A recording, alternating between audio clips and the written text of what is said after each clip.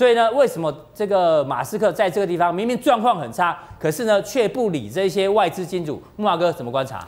对，其实这个马斯克啊暴走也不是第一次了。我们知道他在打离婚官司的时候啊，他的前妻啊就不断的爆料说，马斯克其实是一个情绪啊常常失控而且不负责任的人。是哦，那所以这个马斯控呢，马斯克呢，他其实这个声明是在外的。他这点个性其实跟贾博士有点像。对，其实跟那个钢铁人的 Tony Stark 也很像啊。如果各位有看过钢铁人的电影的话，Tony Stark 就是一个。这个放荡不羁啊，而且呢，这个性格常常大暴走的人，但是呢，他又是一个超级天才哦，所以呢，他是某种情况，我我觉得他们是分裂人格的性质吧，哈。好，那呃，回到这个主题了，就是说，在最近的一场哦，这个电话会议里面，其实这个电话会议是一个季度的财务电话会议啊，就是有关了这个呃特斯拉哦，它最新的财务状况。那当然，全世界的这个投资人呢，包括。呃，跑这个特斯拉的分析师啊，哦，都很想知道特斯拉现在目前最新的财务情况，因为大家都知道特斯拉是一个极度杠杆，而且不断在烧钱的公司，而且呢，已经有媒体预测啊，这个包括分析机构预测啊，特斯拉非常有可能会在今年底把现金烧完。那当然，大家的关注焦点一定是集中在特斯拉的现金流啦，哦，包括它的资本支出啦，好，以及那个最新的 Model Three 的生产状况这些问题上面。结果呢，这个电话会议一开始啊。其实马斯克表现的还算正常了，他就讲了说呢，诶，他其实对特斯拉非常有信心。他说第三季啊，这个净公司实现净收入啊，哦，跟这个积极的现金流量，他说由亏转盈就对了。对，他说我个人非常有信心啊，就没有想到呢，这个没几分钟之后啊，暴走就开始了。啊，这个首先呢是由这个呃伯恩斯坦的分析师啊，他是一个 sell side 的分析师。一般我们讲 sell side 嘛，就是说他是一个券商分析师。对，那这些券商分析师呢，你是得罪不得的，因为。他们都会写报告啊，提供给掰赛啊，哦去做这个到底要不要买这张股票的背后引动的资金是非常大的。对，我们都知道掰赛可能就是一个很多的法人机构，什么寿险啊，哈这些大的这个投资机构啊，哦有很多钱的金主哦，都是要看这些 sell 赛的这个投资报告的。没错。哦，所以说呢，他第一个问的就是这个有关特斯拉哈这个资本的问题。哦，就刚大 K 所讲的，而且呢，我们知道这个伯恩斯坦。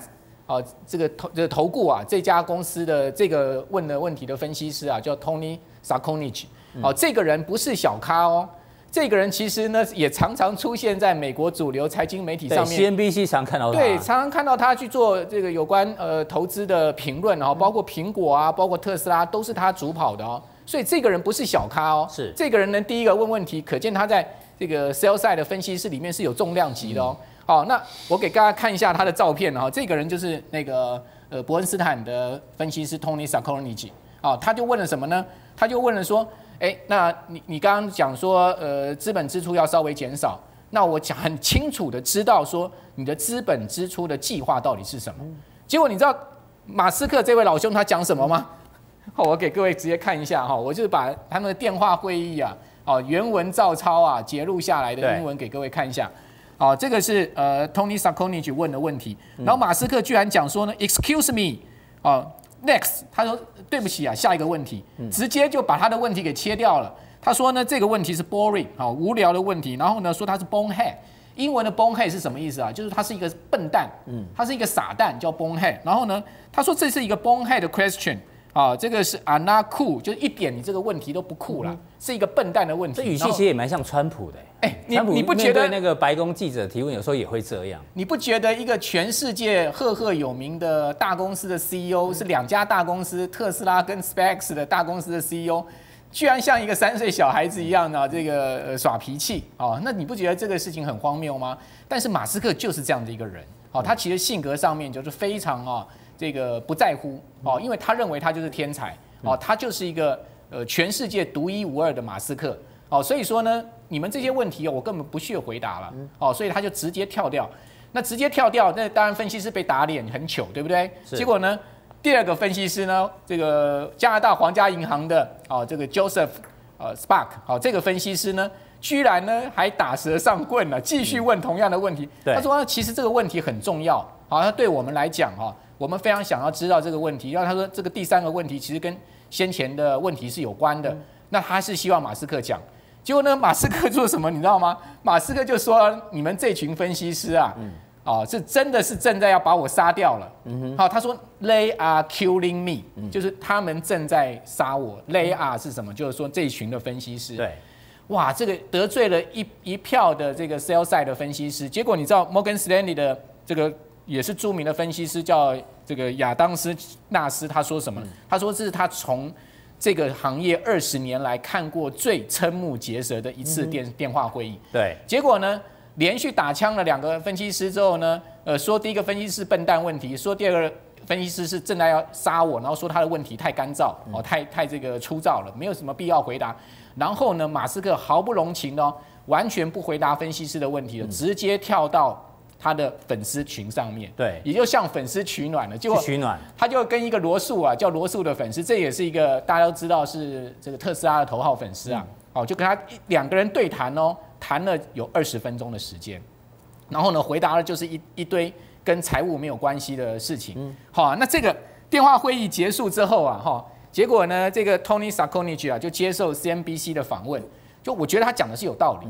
他说呢，呃，当然，就主持人就问他说：“你被打枪的感觉怎么样呢？”那 Tony s a k o n i c 就说呢，他觉得啊，这个特斯拉这些问题啊，其实对我们做 sales side 的分析师来讲，非常呃这个非非常的重要。哦，因为我们很想知道特斯拉现在目前的财务情况。他说呢，这个电话会议啊，绝对不是 TED。什么叫 TED 呢？大家都知道，现在 TED 有这个论坛嘛，没错。哦你可以在上面讲很多理念啊、想法啊，或者是。呃一些开创的事情。他说这个不是 TED，、欸他说是一个很重要的 conference call，哎、你怎么可以是这样子轻率呢？他说呢，如果这样子的结果呢，证明了大概几个方向，他们猜测，第一个呢，如果不是呢，这个马斯克讲不出一个好的故事，就是他根本搞不清楚现在特斯拉的财务情况。哦，他们就是这样想。对结果这个会议结束之后，马上三家券商立刻下调特斯拉的目标价。结果你知道盘后哦，特斯拉的股价就大跌五趴。哦，那五趴总共蒸发掉多少？六百亿台币耶！就这样子的股价的蒸发掉了，就是因为马斯克啊耍了这个小性格。好，那这个但是有没有人挺他呢？事实上还是有人挺他。各位哦看到这句话是这个呃 Jim Cramer 啊所说的。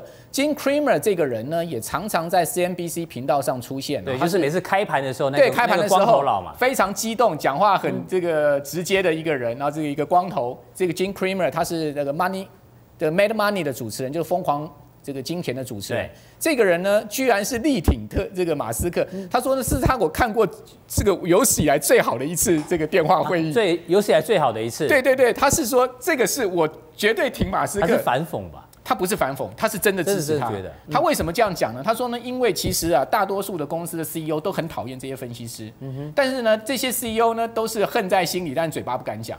他说呢，马斯克终于讲出了一个大家心里的话，也讲就是说出大家的 OS 就对。对，他说，其实呢，他就他意思就是说，如果你不懂这个特斯拉，你不够酷，你就不要买特斯拉的股票。嗯那同样的哦，在这个电话会议里面，他跟粉丝的对谈上面哦，这个马斯克最后不是跟粉丝对谈吗？